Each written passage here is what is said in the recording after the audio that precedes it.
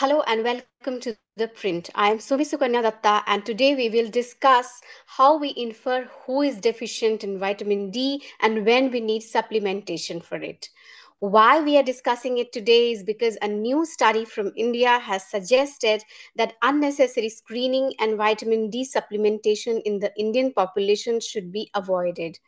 This has triggered a debate on the need to tailor the vitamin D range specific to the Indian population. To discuss this in detail, we have with us Dr. Rajeev Jayadevan, a veteran gastroenterologist and medical researcher from Kerala. Welcome to the show, sir. Thank, Thank you. you for joining us in this conversation. And we'll start by asking you, could you please first tell us why is vitamin D necessary and who should take it? Vitamin D is not just a vitamin. In fact, it's a hormone. So that's an important distinction between vitamin D and all the other vitamins. So people tend to take the word vitamin casually and they think they can take a lot of it without having any side effects. Vitamin D is different. You can't take a lot of it because you take a lot of it, you'll get what's called vitamin D toxicity and develop potentially serious complications. Now, the role of vitamin D, most people know it's a sunshine vitamin. Our skin is able to generate what we need if we get adequate sun exposure. Uh, it is essential for uh, bone health, and that's primarily the role of vitamin D uh, for to ensure adequate strength within our bones. And we know that in the years gone by, when uh, children uh, were malnourished and had severe vitamin D deficiency, they had bony deformities. And this is in sinners die. And we all grew up in the medical curriculum looking at these pictures of children with vitamin D deficiency. Such deficiencies have become uncommon with better nutrition. Now, vitamin D deficiency is basically a condition where you have a such a low level of the vitamin or the hormone in your body that your bone health has become abnormal. And that really is the problem with vitamin D deficiency.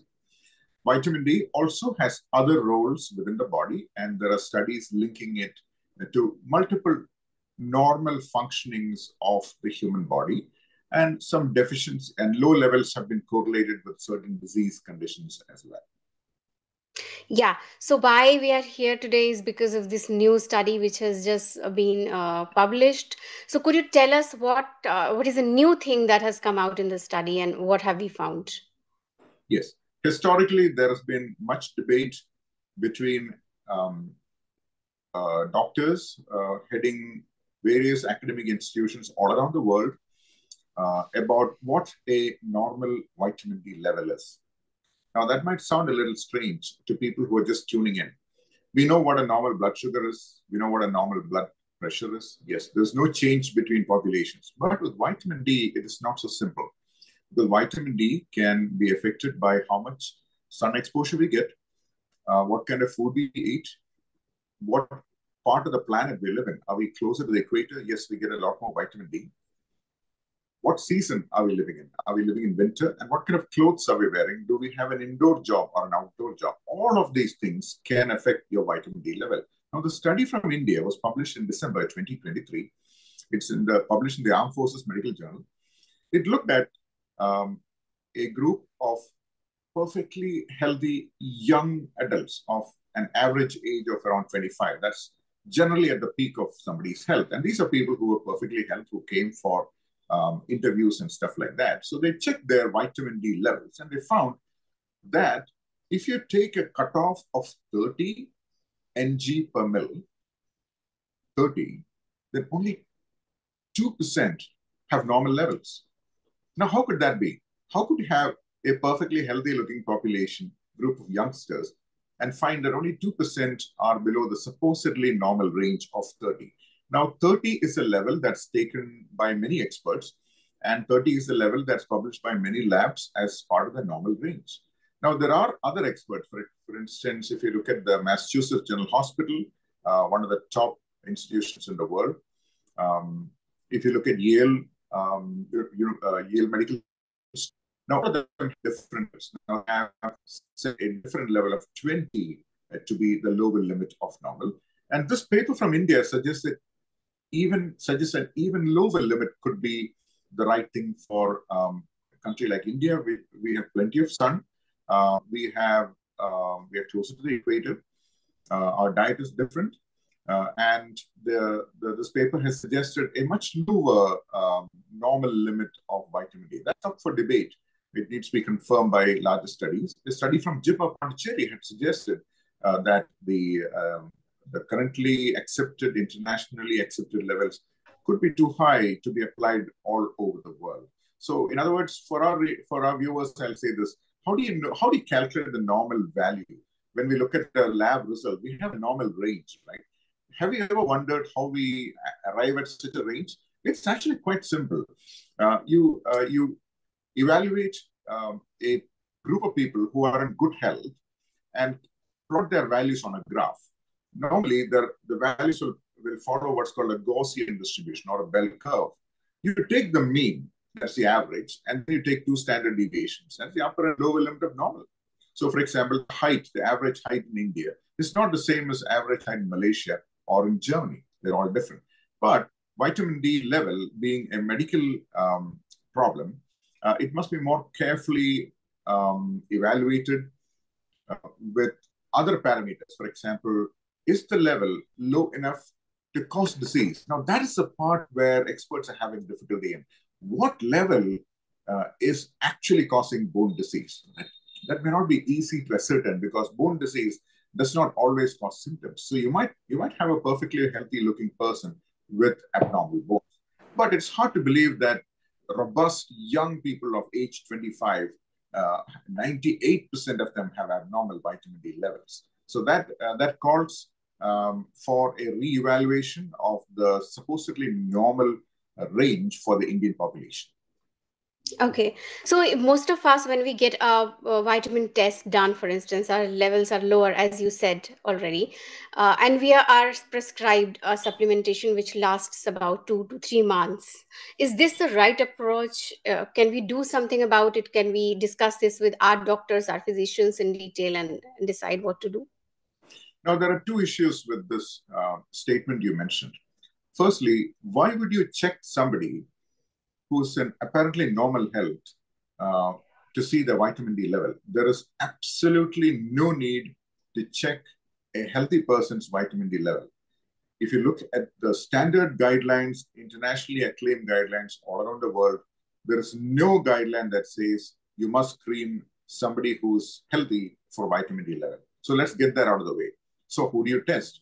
Yes, if a person comes to me who has features that I suspect are potentially due to a problem with vitamin D, yes, that is when I perform the test. I would not um, want to order this test on someone who just walks in and says, Doc, I would like to check on my health. Yes, of course, you do a fasting sugar, uh, you check their blood pressure, you check their weight, you check their abdominal circumference. Yes, that's that's important. But but vitamin D level, it is not necessary to be checked. The second part of your question is, what problems could occur with the supplements? Now, let me tell you this some of the vitamin D preparations in our market in India, they carry about 60,000 units, international units, uh, and they are to be taken once a week. Now, if the instructions are not very clear to the patient, or the patient forgets uh, what was mentioned by the doctor or the pharmacist, the patient may inadvertently take it every day or even more frequently. Now, therein lies the problem you could potentially uh, you could potentially poison yourselves with vitamin D, uh, leading to extremely high levels, and rarely can cause what's called in fact that that uh, that sort of uh, I, I, sort of read a story somewhere that how a boy had died because of you know the, the vitamin d injections that uh, the boy received because the parents didn't know it was to be taken weekly and the boy was administered the injection daily. So uh, fatal uh, it can sometimes be fatal as well right? Yes. poisoning vitamin d poisoning true. Uh, but i want i want you to know that this is an extremely rare occurrence. So it is not like if you pop a vitamin d vitamin d pill you're going to die from it. No these are extremely rare occurrences. And the mayo clinic of uh, minnesota um, rochester minnesota they have actually looked at uh, the occurrence of hypercalcemia secondary to vitamin D supplementation. They've, they've, they've found that even though vitamin D levels are high in the population, very rarely do they come across hypercalcemia. So I just want, want to put it out there that this is not something that's going to kill you. Uh, but that does not mean that you should take it without reason. So that's uh, both, yeah. both, both points are important. Yeah, yeah. So do you actually think, like the paper has suggested, the uh, the paper that we just discussed about tailoring the vitamin D range specific to the Indian population? Do you agree to that view point of view? Absolutely. The reason is, if you keep your normal range too high, let's say if suppose I hypothetically say that the normal lower limit of height for Indians is six feet. Now I'm nowhere near six feet, so neither are nor are most, most people in our country. So 99% of Indians will be called short for no reason. So you should have a range which is customized to the population. As far as vitamin D level, uh, an elaborate study uh, needs to be done with larger numbers of individuals from different parts of the state, preferably by, mm-hmm. the, by a central agency, and correlate that with their bone health and see if below a particular level, people are developing um, ill health of the bone. And then you set that level as the normal level for India. So that is that is uh, that's possibly the better solution.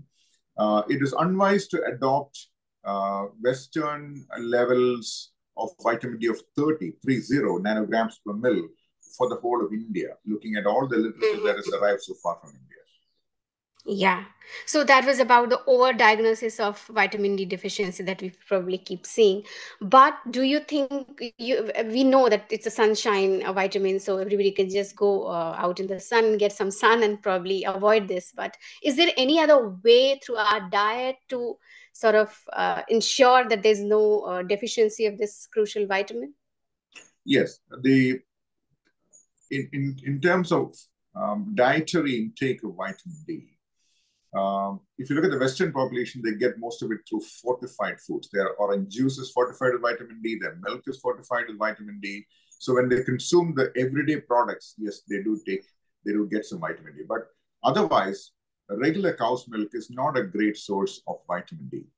Eggs, um, meat, and uh, fatty fish like mackerel and uh, sardines, which are commonly used in India, now, these are, these are inexpensive fish which are popular, and they are good sources as well. Uh, it, uh, small amounts of it are found in other food substances as well, but these are the chief sources.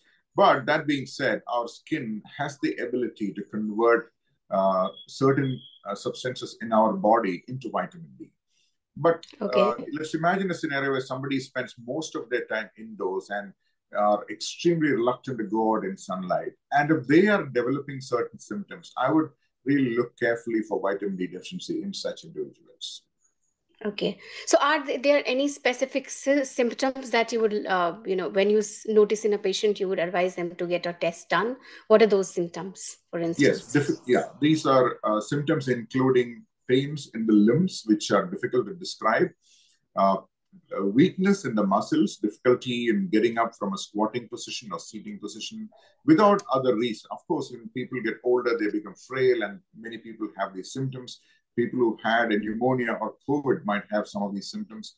But if you if you are developing these symptoms, always it's better to check with your doctor uh, to see uh, what the cause of this problem is. It need not always be due to vitamin D deficiency, but in such individuals who have generalized weakness, muscle weakness, bone pains, yes, these individuals must be checked for vitamin D deficiency. One of the potential causes.